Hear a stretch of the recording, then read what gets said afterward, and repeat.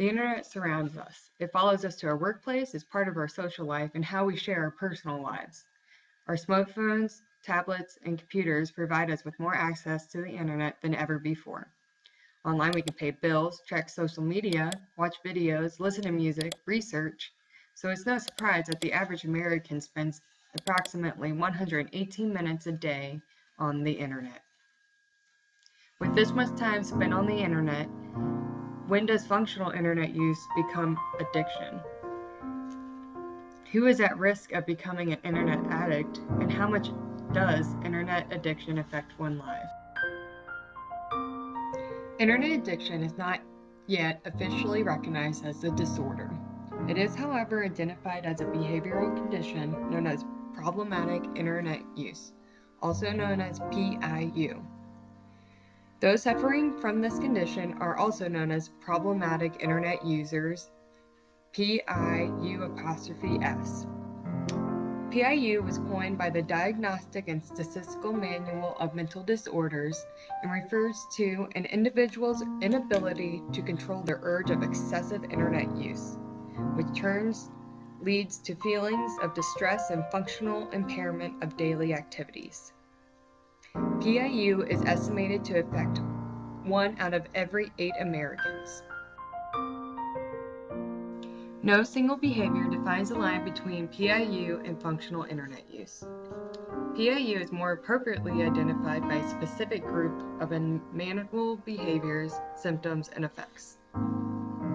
Problematic behaviors of PIU include compulsive internet use, preoccupation with being online, hiding your internet use, and or lying about your internet use.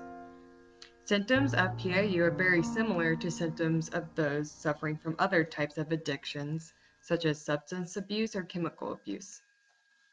Symptoms of PIU include feelings of distress when not connected online, restlessness, moodiness, depression, or irritability when attempting to cut down on the use of internet. Adolescents are the most susceptible victims of problematic internet use. The internet has become an indispensable part of adolescent life. According to a report by the Common Sense Media, teens spend almost nine hours a day on the internet. Another study indicated that problematic internet use is more common amongst individuals with certain qualities, such as those who have low self esteem, who have decreased interpersonal skills, and those who struggle with their social skills. The effects of problematic internet use can last a lifetime. Effects include interferences in relationship with friends, families, and coworkers.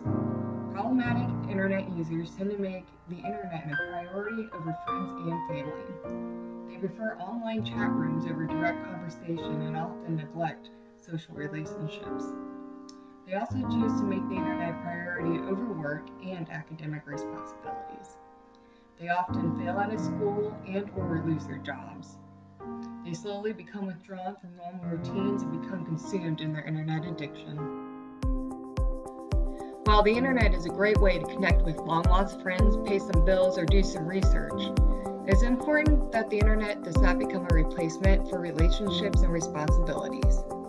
In the words of Woody Allen, showing up is 80% of life.